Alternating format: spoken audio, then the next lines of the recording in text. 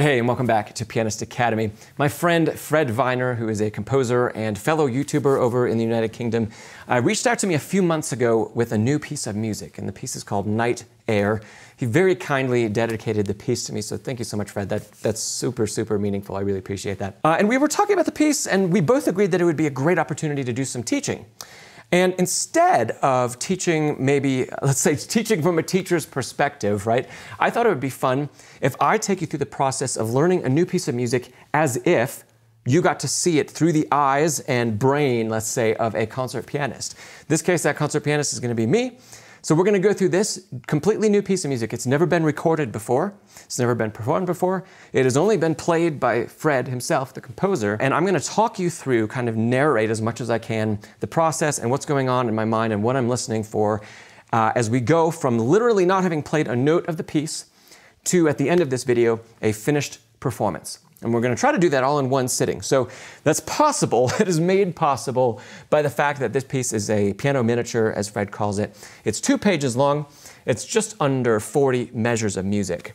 Uh, so it is going to be possible for us to kind of go through all of it and in a lot of detail because it's a short piece. So if I were teaching a piece from a teacher's perspective, I would always tell a student go out and find a recording or a handful of recordings that you like of the piece, study those and and kind of absorb what those performers have done with the music, right? A lot of times as professionals in music, we're invited to play pieces of music, learn pieces of music, perform them that have never been performed before. And it's a, such a cool opportunity, right? Because we get to experience music that is completely new to the whole world. In this case, I can't go and listen to a recording of the piece. There isn't one.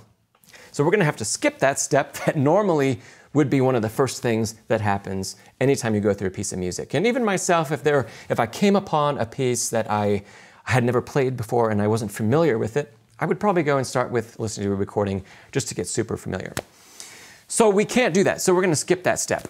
The next thing that I would do kind of depends on the length of the piece. So in this case, we talked about it's just under 40 bars. It's two pages long. It's a very short piece of music. So I'm going to start with just a bit of analysis of kind of what I see going on in the sheet music before I play a note. I kind of cap that at, well, let's say like four pages or 80 measures of music or something. It's, it's, it's not a hard and fast rule, but if it's a short piece, I like to do a little bit of analysis. If it's a longer piece of music uh, that I need to experience, I'm going to dive right into sight reading it and maybe making some notes as I go. But today we're going to get to the sight reading part second. And instead, we're going to start by talking through kind of what I see on the page and then we'll go from there. Okay, of course, some of the first things that we always talk about when we see a new piece of music, we've got the key signature. Uh, in this case, okay, three sharps, it's either A major or F sharp minor. We just look through the piece, second page, it's F sharp right? So we've got F sharp there. We've got a final chord of F sharp minor down there. I could even play. There's a little bit of that first bar, right? Just kind of that motion. We can definitely tell. That's F sharp minor. Very nice. Second thing, let's look. Oh, it's in cut time. Cut time is a lot like 4-4, except we're going to be counting in half notes. So even though there's going to be four quarter note beats here, two, three, and four, we're going to feel the pulse is two through the bar instead, so that's going to be important. F sharp minor, cut time, and cut time matches the tempo marking he's given me, Andante Tranquillo. Uh, half note equals 80. So once again, he's telling me count by the half note. Beautiful, love it, that all makes sense. Okay, now I'm gonna go through and look for, can I see any patterns in the score before I start to play? Or can I identify a little bit of the form of what's going on? So if we start here, I'm not gonna draw over any notes, but as we get started, this is kind of like an A section, and it goes. Well, we've got two bars. These two bars looks like one and two repeat exactly in five and six. Yeah. And then three and four, three and four are very close to um, seven and eight. Okay, so there are a couple little differences there. Maybe I'm gonna mark this one in blue just to show that it's a little different. Uh, then we get some new material in 9. Looks like there's going to be some neat harmonies. There's this uh, walking, stepping down bass line that I'm paying attention to, except at the end it goes back up. So I can make a little mark there. Um, nice. We've got a lot of C, C sharps on the top of the hand here, repeating some syncopation. That's cool. I'm not yet really paying attention to the dynamic markings or things like that. I'm looking for patterns in notes, uh, a little bit of patterns in rhythms, mostly just seeing kind of how things how things fall in the hand and, and the shape they take on the keyboard and how how I'm going to navigate things, right? Um, one important thing now that I'm going back and looking, uh, we've got let's put it in black here. We've got lots of shifts. It looks like over left hand coming over the right hand uh, where all of those clefs change, right? Uh, so that's going to be something that might be a little tricky to sight read, but something we've got to keep uh, track of, right? Okay, so we're in the B section down here, measure 9. Uh, once again, we've got a very similar 13 and 14. There's a couple things that are different, um, but very, very similar. There's this nice climbing out. And then in 17, well, this is really interesting. In 17, we've got the main, let's say the main melody like we had up here in A. We've got it except it's stemmed down. And, cool enough, these stem up notes here and here and here, to me, I think, we'll see when I play it, but they kind of reminisce to back in measure nine, what I was seeing as the top. And in fact, some of the rhythms actually line up between the B section and now when we get into 17. 17 is, uh, we could kind of call it A prime. We'll just call it A prime for now. Because uh, very similar to A, we've got the main melody. It's just been expanded. Okay, now we get into 20, 21, 22. 23, this is significantly different than what we had before. Cool, 24. Now as we get into 20, 4, 5, 25, which is 23, 24, 25, this bar right here, right? So as we get into 25, we've got similar motion as we had in the B section of the previous page. Yeah. It's up, uh, it looks like it's up an octave, so that's cool. Uh, and then we get some new motion here in 28, 29. So you see, as I'm going through all of this, I'm just trying to figure out, before I read anything, where are things that are familiar, especially after I play the first eight bars, where are things that are familiar? When I play uh, bar nine and 10, where are things, are things gonna come back? Um, so after I experience it once, can I draw a connection right away to new things? 29 looks like it's gonna be different. Let's kind of highlight that in green. From there to the end looks kind of like a, like a coda or something like that. Okay, that's cool. I think that's enough uh, going through just the, the, uh, the piece itself and doing some analysis, I think that's good enough for us to get started. So, next thing I'm going to do is using some of that knowledge that I've built, I'm going to do a first sight read through the piece. And when I do a first sight read, my priority is going to be on playing every pitch correctly. I want to get my hands in the right place. I want to experience the crossovers that I mentioned. I want to make sure I'm playing all of the right notes so I can learn the harmonic context, so I can learn exactly what's going on, hear exactly what the melody line is, and I'm gonna, I'm gonna secondarily prioritize rhythm. So I'm gonna take a pretty slow tempo. Actually, 80 beats per minute is, is oh, pretty quick for a half note. Uh, something like the snap is around 80 beats per minute. We'll have to check that. but I think it's around 80 beats per minute. So I'm going to go a lot slower than that.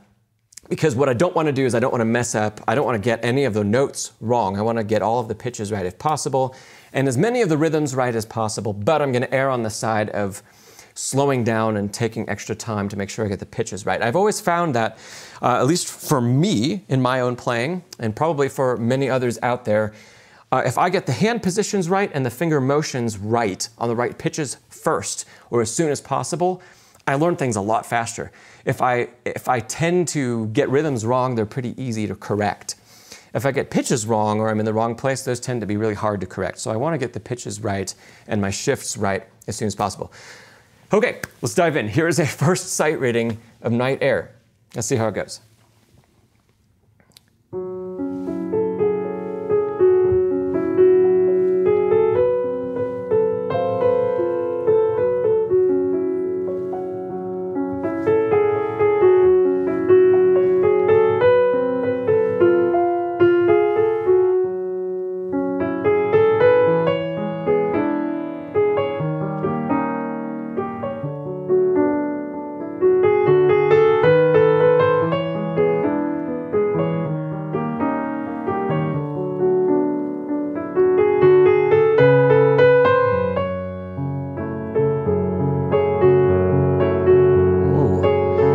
Up a little there in 18.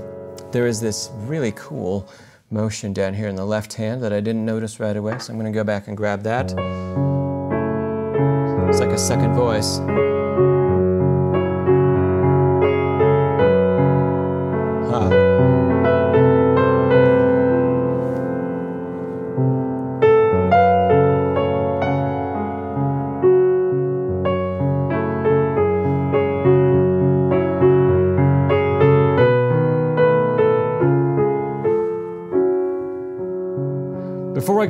Actually, I'm going to just mention that you notice how from 21 um, onto the rest of the page, you notice how I probably took that a little bit faster. It's because I recognized that there was a lot of similarities in 21, 22, and then when I got to 23, it was a new thing, so I slowed down. Now moving on to 25.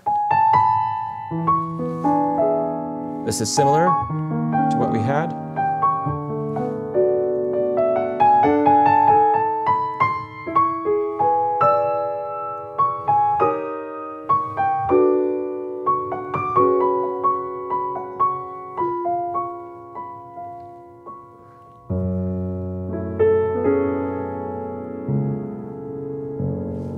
The other things that I actually did while I was going through this um, that I didn't even realize that I would be doing is looking at all the other markings that are around. So, you know, throughout the piece, we had pianissimo sempre. Uh, I was taking kind of stock of all of those other markings and making sure that I just know what they all mean. Sometimes we can find a piece of music that we haven't played before. There might be terms that we haven't seen. Um, I want to find out what those mean right away.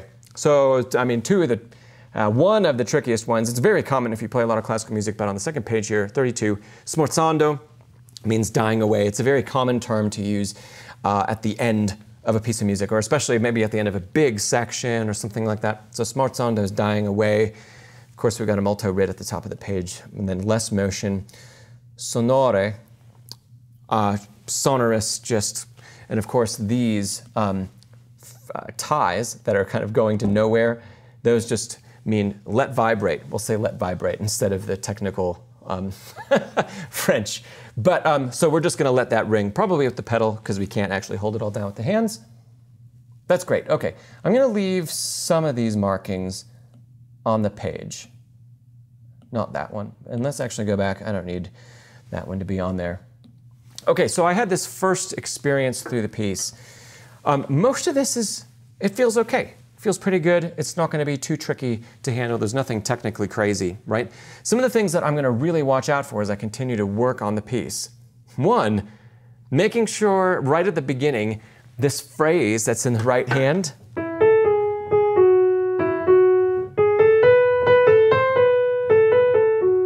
There's a lot of motion around that phrase in the accompaniment pattern, both in the left hand, but the melody is not da da da da da. It's not four notes. This is separate. Da da da is the melody. So, and then with the left hand crossing over every half, every bar, I really want to make sure that that left hand part stays so, so transparent. And I think that's aided by the harmony that's here, right? The left hand is only playing this open chord, and then we get something different, right? But the right hand is the one in the melody is, the, is what's responsible for shaping that harmony more. So,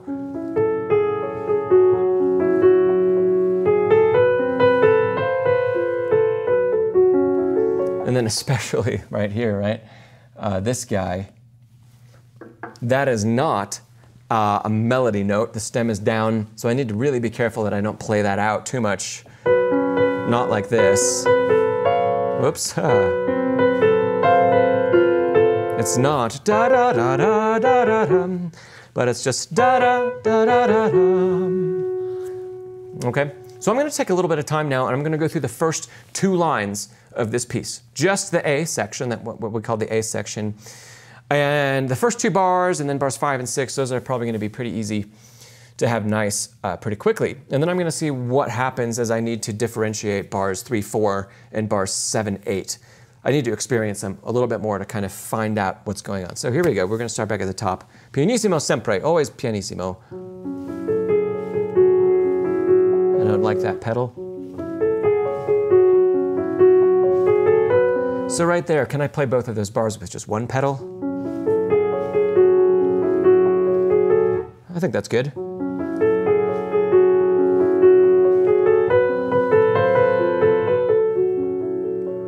Then I got to make sure I go all the way to the end of that phrase, da da da, even though there's a decrescendo written there. Yeah. So I think Fred's done a nice job here. He's put the crescendo mark and the decrescendo mark they're above the middle, the midline of the, of the staff, right? So I'm assuming that means it's only the right hand that crescendos. And especially not that E sharp. And then it comes back. That's, that's cool. I like that. So we're going to take things in one pedal and then we'll change out the harmony. I think that can all be one pedal.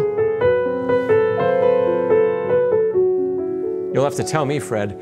So a lot of times, Fred and I didn't do this, but a lot of times if a uh, pianist or any musician is working with a composer, a contemporary composer, um, many times it's the composer that reaches out to the performer and asks for the piece to be played, right? Like a premiere or for a recording or something like that. And um, it's in everybody's best interest to for both parties to work together, the performer and the composer, especially for the first, the premiere or the first recording, because um, we always want the first run through, the first thing that people hear, the first thing that goes public, to be composer's representation, or the representation of the composer's intentions, closest to that, right? So, Fred, feel free, feel free to make a comment because we didn't talk about this. I'm going to assume that you don't want all this to be choppy because of the crossover, in which case it has to be pedaled, pedaled down for that whole harmony. So I'm going to assume that that's the right way to go. Fred, if I got it wrong, let me know. okay, moving on to measure five, we've got a repeat. That's all the same. So that's cool. That is offset in the left hand here. That's offset by an eighth note. I like that. That's very neat.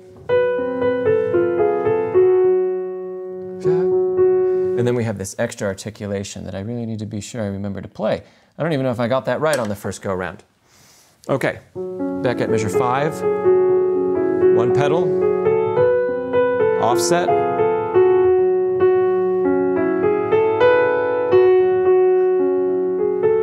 And then I want to keep these two things separate. I want this left hand to kind of be in its own box, and then the right hand to be doing its own thing. So I don't want to play necessarily. I think Fred would have linked things together with stems if he wanted that kind of motion. So because that didn't happen in the score, I'm going to call that in the left hand da dum the ending. And then we get into the B section. Okay, before I go on, I'm going to go through this again. Uh, and I want to make sure that I'm going to get all the stuff that, I, that we've just talked about. I want to try to get it as, as correct as possible, as soon as possible. I'm doing all this without worrying about the final tempo or the performance tempo, anything like that. But I am worrying about dynamics and articulation and bringing things out, right? Hmm, one pedal, one pedal.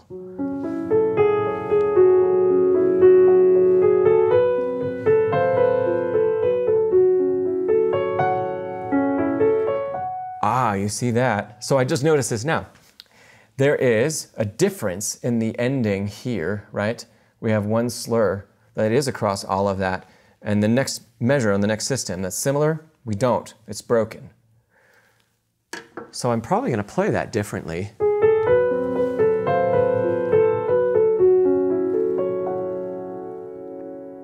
Yeah, so that's all just going to be subdued because it's a part of, let's say, the left hand or the accompaniment figure. That's all just going to get subdued. We don't want it to cloud or we don't want to think that's part of a melody line, right? So let's go back to the top.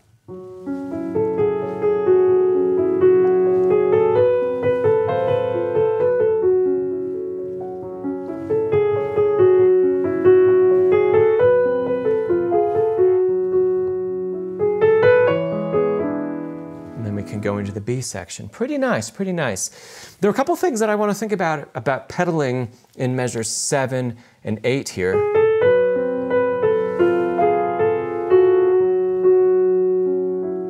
Do I want one pedal? I think I still want one pedal. I think I still want one pedal. Similar to how we did in the previous line. So what, what I'm kind of thinking about is also, do I want to highlight that harmony that resolves? Or do I want to keep the pedal tone of F sharp that we've had throughout this whole thing? Hmm. For consistency's sake, I think I'm going to keep the pedal tone. I might change my mind. I don't know yet. It's a, it's a cool little, little bit, uh, a little pedal enigma. Because it doesn't obscure the melody at all. But it doesn't really fit. So I think I'm going to keep one pedal because it sounds kind of strange to have things cleared so much after six bars of so such a nice texture uh, and, and atmosphere being formed. Atmosphere. I think I'm gonna, I'm gonna come back to that word, atmosphere. Atmosphere in the title, Night Air. I like those, the way those two words, uh, the way atmosphere and the title kind of go together. Let's do one more run through from A, uh, and then we're gonna move on to the B section. And actually this time through, let's see, can I challenge myself and play a little closer to the intended tempo? Okay. Those are the eighth notes. And this, this is 80 to the half note.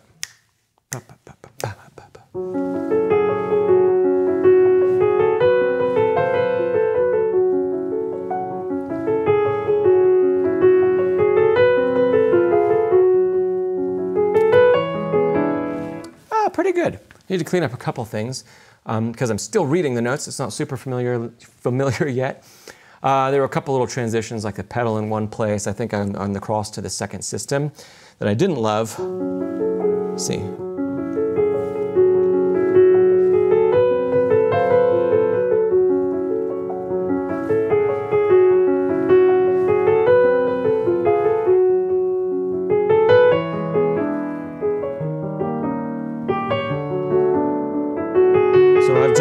Straight in.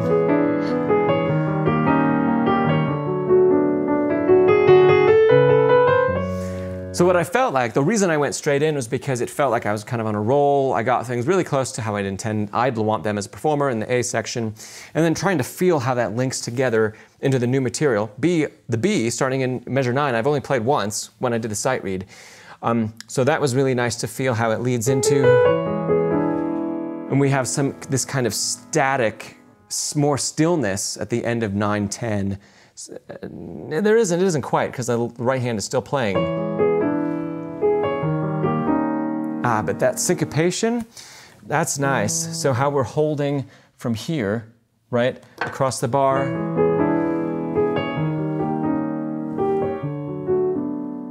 So I really want to make sure that we hear that precisely, precisely hearing rests precisely, or hearing, it's almost like silence, right? Hearing the nothingness precisely. That plays a lot into, let's say in this piece in particular, I feel like it's a juxtaposition against, this is always, da, da, da, da, da, da, da, da. there's always eighth notes happening here. Da, da, da, da, it's five.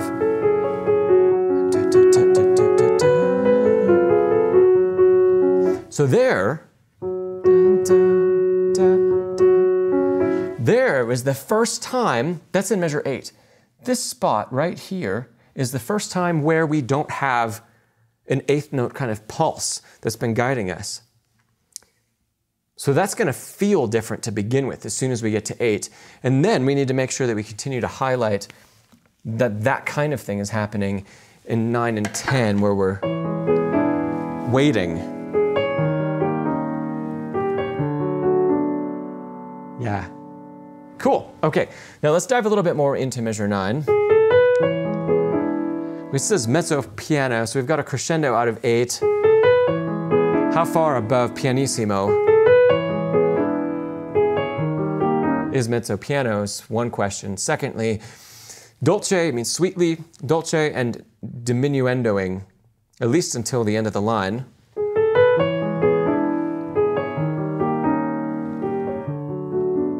That's cool. He hasn't given us a dynamic marking at the end of the diminuendo, right, which would be here.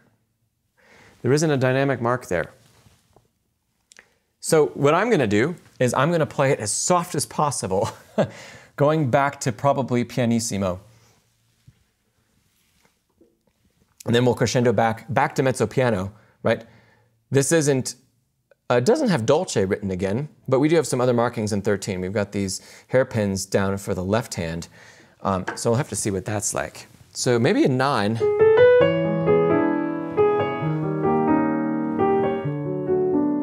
Nine, the intention is to hear the syncopation in the right hand. Eh, it's not really syncopation, just in the middle of the bar, and then across. I guess there's some. So hear that and let the left hand just be a nice texture underneath.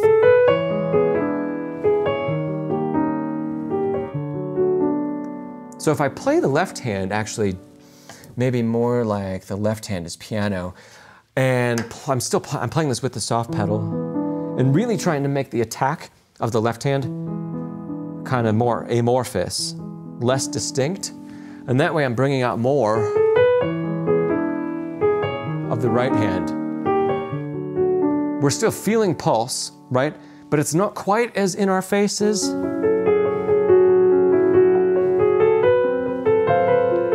From the top there, right?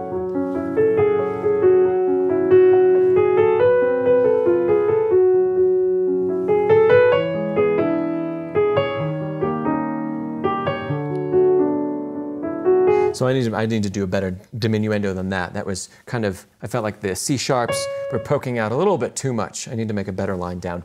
So I'll work on that in a minute. Leaving measure 10, 11, where I've marked pianissimo here.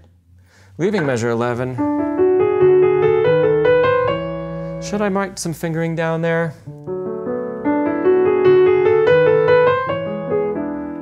If it was a harder line, I might.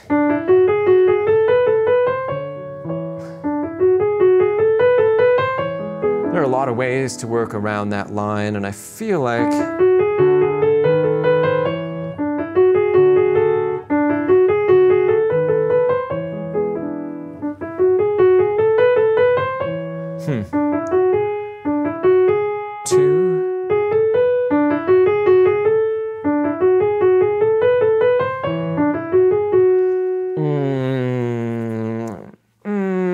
mm, I'll write in a fingering, but I don't know if I'm to get it right every time, at least not today. So I'm to end on four on G sharp. Two. Yeah. Two, three, one. So da da da da, two, three, one, four, no, three, maybe two. Oh, two makes it nice. It's just one change in position.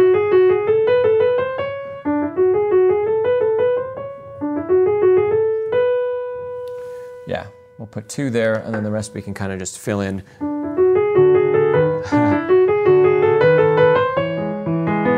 so now, measure 13 I need to change the way I'm thinking about this because first time around it was all about the right hand and obscuring the left hand. This time I want to bring out the left hand. And do I need to put a different finger on there?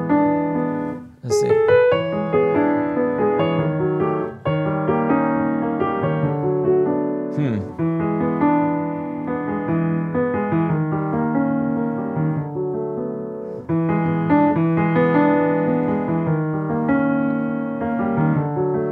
I think I'm going to do that because this is all going to be pedaled once. What I'm, what I'm looking at here is the fingering choice in the left hand. Instead of taking this in one position, where I have to move five, which is going to kind of cause me to land on the downbeat. Yeah, that's too much accent. And we want that as the downbeats are actually the quietest bits in the left hand. So over the syncopated high note in the left hand, if I switch my thumb from being thumb here to playing thumb on the next note. I'm going to try to do that for each bar. And then I play down to four instead of five.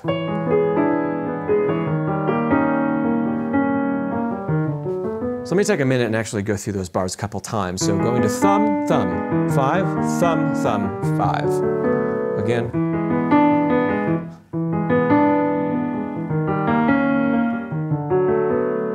The other thing that I think I'm going to have to do here,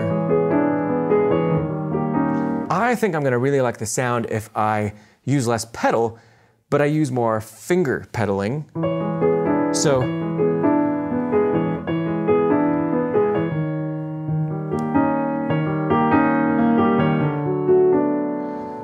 So I'm doing a lot of holding down the entire harmony that the left hand is building.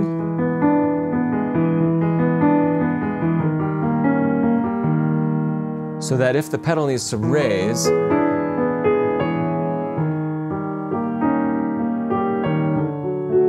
let's see. For example, I might really want to raise the pedal on the lowest melody note here. Let me play around with that a little bit. So you there's a lot of shifting back and forth, right? So I was thinking about left hand for just a couple passes, but then as I was thinking about that, I'm starting to think about how the melody is going to take part in what's going on and what the pedal's doing and how it's all going to mesh together in the final product. So if I've got the pedal down,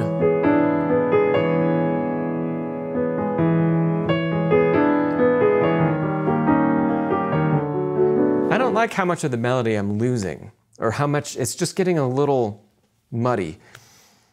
Uh, and it was nice back in measure nine because there was less going on. There was less in the left hand to take away from what we're hearing in the right.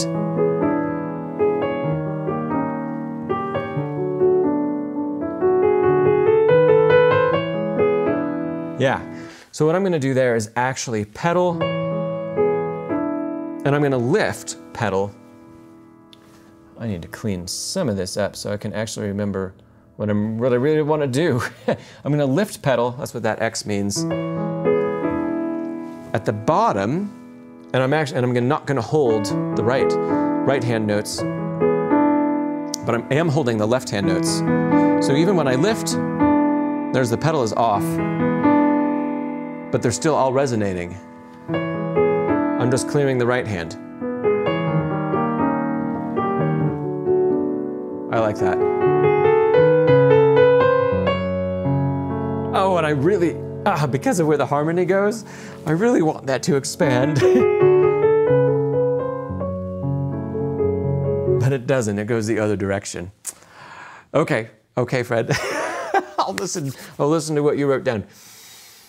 Okay, so I've gone through the A section, the first A section, and the B section. Now I think it's time, I need to actually play the B section a little bit more especially to differentiate the first time through, the first four bars of it, the second four bars of it, let's make sure that I can bring out the left hand the way I want to. That might take a couple iterations or a couple passes to get that really comfortable. So here we go, here's from measure nine.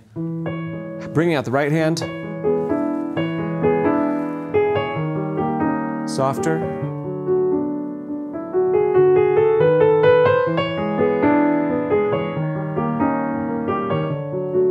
Yeah, I need to do 13 again, so, so let's do it slower.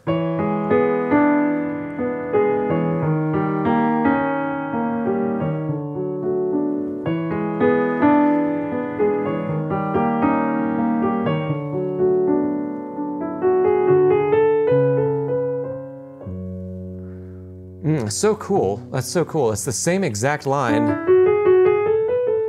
but it goes somewhere totally different back into our F sharp minor 7 in 17, then our E dominant 7 in 13.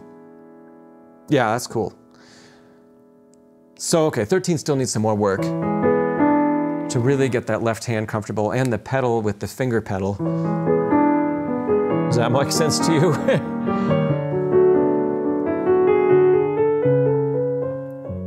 so I know Fred's intending this to all be decrescendo at the end of 16 here that he's written down.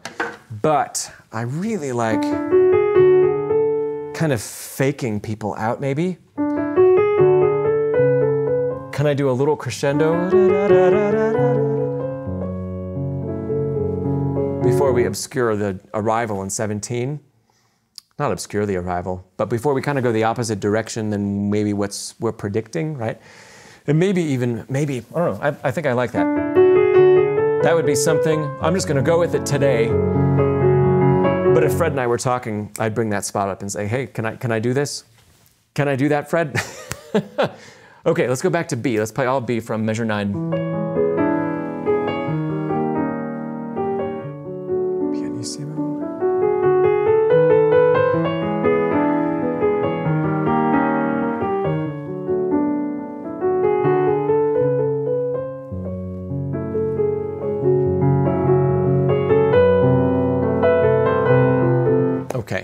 So that bar 19, 19 is going to take a little bit of uh, just memorizing kind of where that's going. I think B feels pretty good. Um, I need to play around with a little more just how much the left hand's going to come out. Do I really want the left hand to be more important? Do I want to hear the left hand high note more than the right hand low note? Or is the intention here still to keep in 13, to keep the left hand accompanimental, but just with a little more flow than the way we played it in 9, which is totally kind of obscuring the attack. This is measure 9. I need to start louder for mezzo piano. Piano, pianissimo.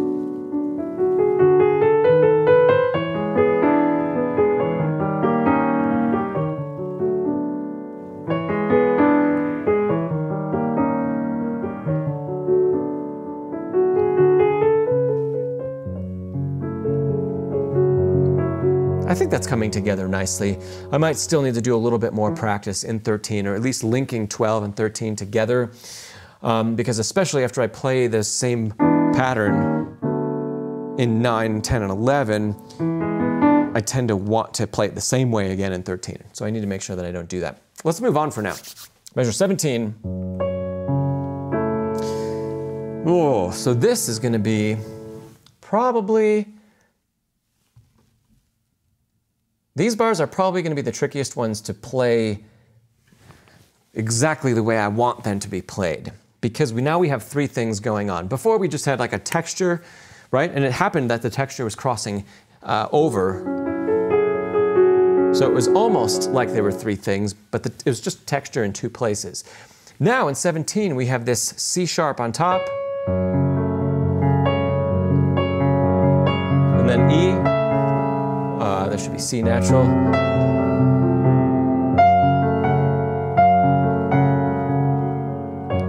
Let's go back. Let's experience just that a little bit. It almost feels like kind of a bell ringing.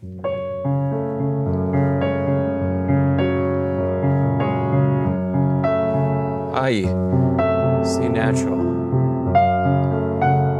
And then we have a bell again.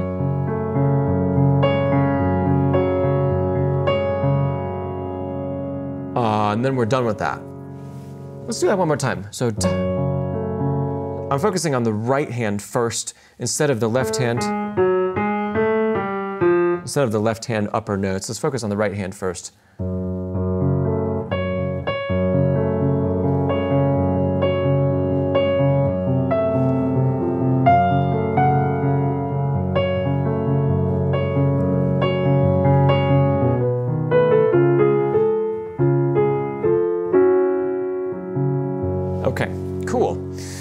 One more time, maybe. One more time.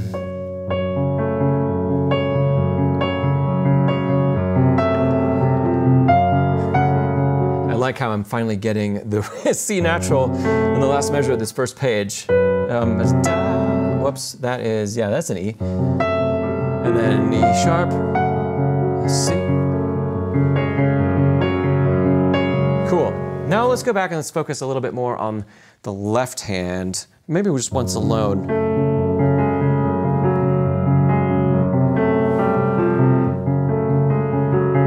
Yeah, nice little counter melody.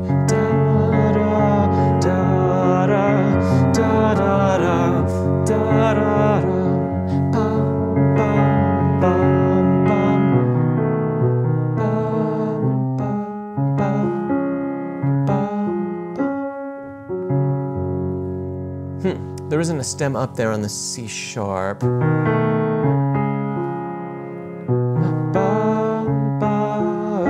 But there is a tenuto. And tenuto is how that has been marked to bring out in all the measures previous. So I think that is the end of the upper line here. So if we go back to measure 20 at the top of the page, we have da da da. Here's the restatement of the melody here, or the restatement of this theme. Da da 21, 21, yeah. Da. 23. Ba ba da. So I think that's the melody, or the counter melody, I should say. So if we try to put that together, maybe.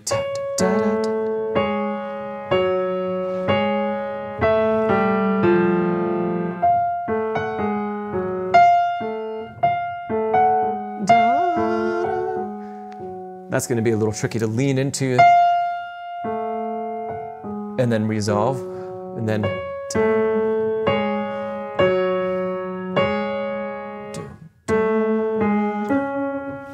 Nice. Okay. Let's just put that together for now. So 17, I'm only going to play these bell-like uppers, and then I'm going to play the left hand, the whole left hand, but work on bringing out all the notes that are marked with tenuto.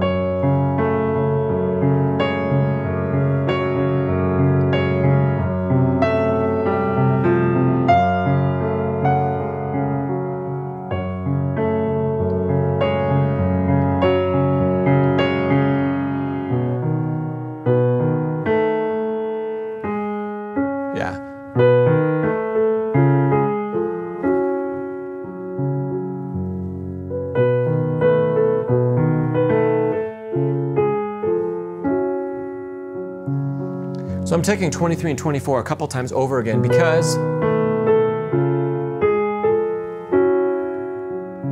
I really want to hear how that is translating. Ba, ba, I think that's where it's going. There isn't a marking over the A, so I hope that's okay. Now, let's go back to 17. Let's only put in the melody without these bell figures. So you see, as I'm going through this, I'm just thinking about all the different layers. How can I pull them apart? How can I experience them some of them at the same time, eliminating some, and then when I put them back together, I'm only doing parts of it. So instead of jumping back into 17 and doing the whole the whole thing, just adding the main melody, the main motif that we established back in bar one, instead of adding that right back in with the upper bell-like notes in the right hand, instead of doing that, I'm going to eliminate the upper notes in the right hand, just play the melody. Let's hear how that works together with the counter melody. Again, under tempo.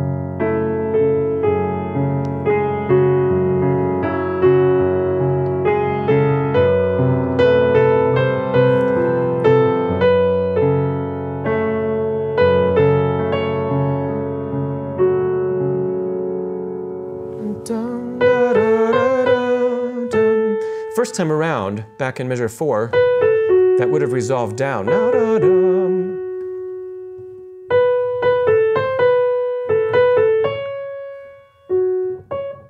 Yeah, okay, that's just a different resolution. It's just going up. Nice, okay, let's do 17 again.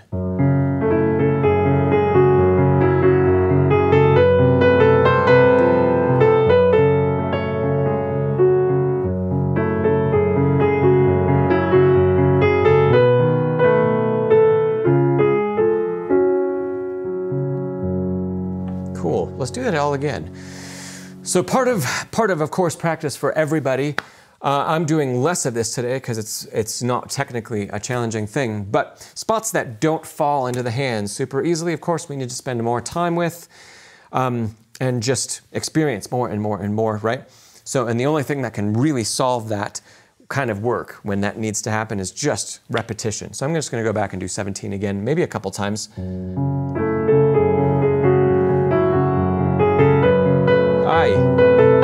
Miss the C natural.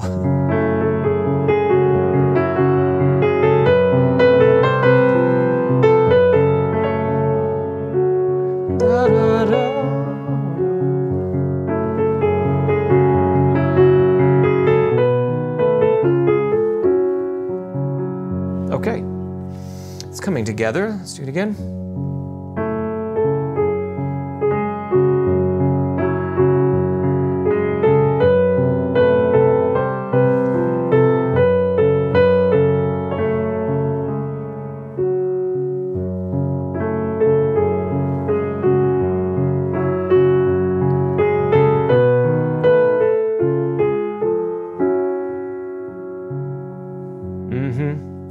Important there in 23, this stem up isn't just an eighth note. It is a quarter, so I do need to hold that because we are pedaling here. We need to hear that across, maybe lots of pedal changes, and then up to the top. Let's add in the bells back in. Let's see, slowly.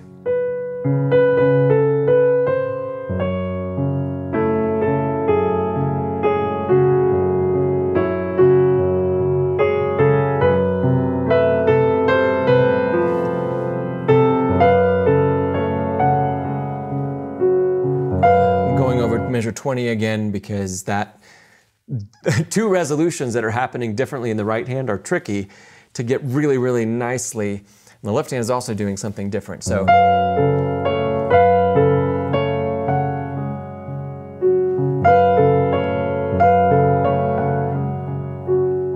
I wonder if I can do that. Can I finger legato or finger pedal um, that guy across the bar? Lowest F sharp there because when I do a lot of pedaling,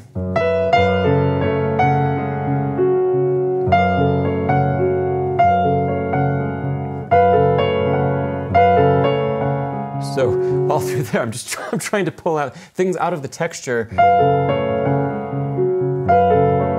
Of course, the high note is usually what the melody is, but it's not in this case, but it's a counter melody and it still needs to resolve, right? But that's the actual melody. And if I pedal on every quarter note, we completely lose the lowest bass note, but it's kind of far away.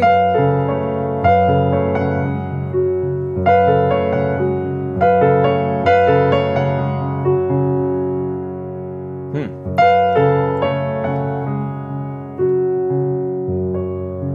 I'm gonna have to practice that. If I do want to hold that, I can. Let's keep going.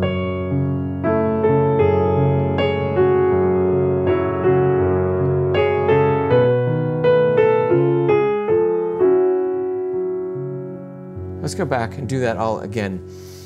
So one of the things I'm starting to listen to and starting to hear is that maybe because the melody's already been established back in bar one,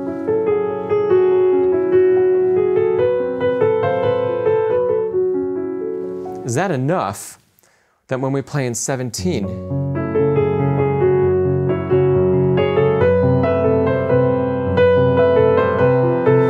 yeah? Is that enough that maybe not in 17 do I bring out the upper C sharps, the bells, even though they've got tenutos. Maybe I don't bring them out so much there, but I bring them out more in 21.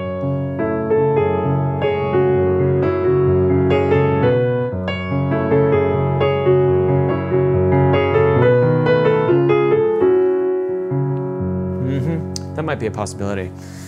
Let's see how that leads together. So I'm going to go back to the pickup into measure nine, the B section. Right hand. Softer.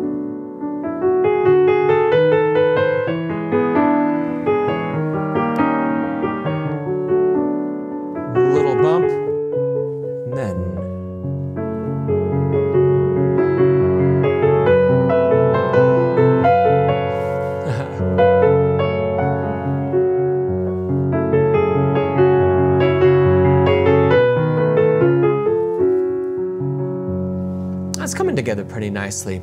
Maybe I won't do as much of bringing the bell out in 21 to the end of that section. Didn't seem like it really needed it, especially after that I feel like I have to land nicely in measure 20, but then have that subside so quickly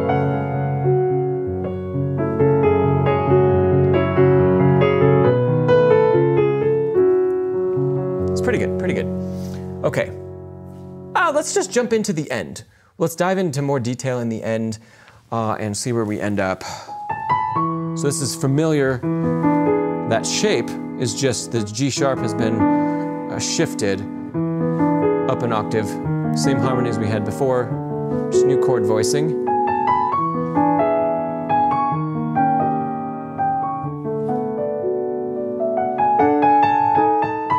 that's a turnaround.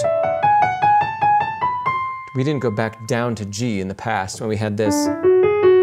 We went up to B. So in 27, let's make sure that I go down to G there. Whoops. Crescendoing up a little bit to just piano.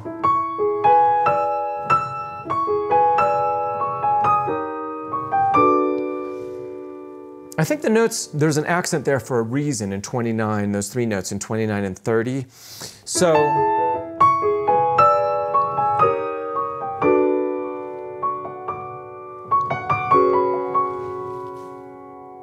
ah, it almost feels like it's two layers that are kind of working together on the same note. Uh, let's see. Like it's a bell, like is reminiscent in, in the middle section when the A material came back. Oh, yeah, yeah. Those are the right notes. So.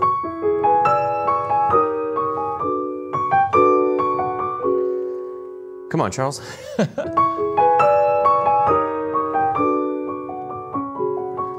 because they're all phrased together, I feel like this da da da da da da da That still is part of a melody. It's not just da da da da da. Mm-hmm. The melody still needs to be the three notes that are under the slur. Okay. Now this is kind of hard to see, but um, it almost looks like you'd re-articulate this F sharp at the end, but you don't. There are four ties in 31 here. There's four of those ties. So all four of the notes in 32 are tied. It's just a middle voice has been created there that resolves.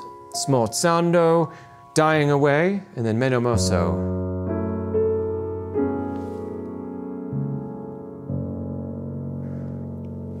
Meno mosso just means less motion. Mm, I'm thinking it could be kind of up to interpretation about whether that's less motion in a strict tempo or if it's just less motion and retarding. I really like the way it feels. It feels almost kind of jazzy. Like that. And it's a little bit more free tempo rather than just meno mosso in a strict count, right? Let's see if I can play from 20, the end of 24, the pickup into 25, to the end of the piece in tempo, right? So tempo is, what do we got here? That's about right. Okay. Da da da dum ba dum ba dum ba dum.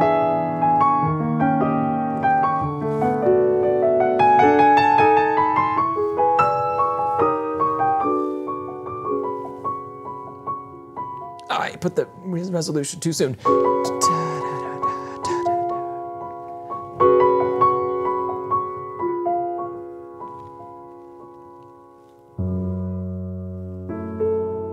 And I'm going to lift pedal right on the downbeat.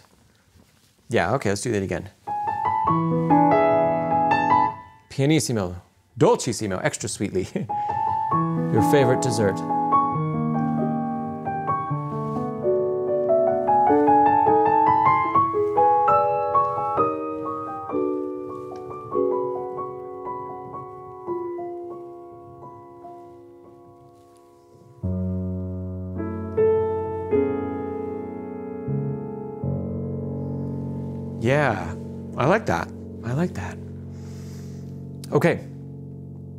So I think I've talked through just about everything that I am paying attention to.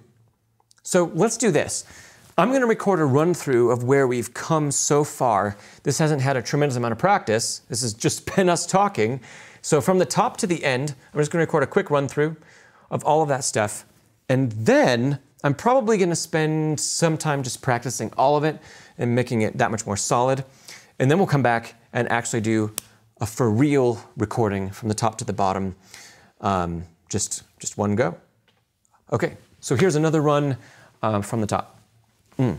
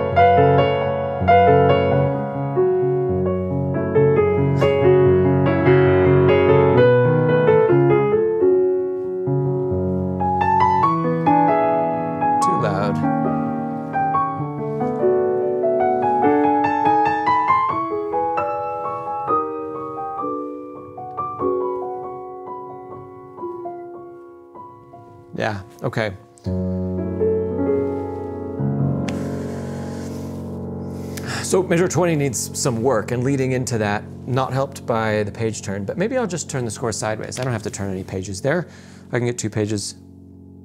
Okay, so the rest of this time is probably gonna be spent me just practicing, uh, getting this ready, and then we'll cut to um, a final performance.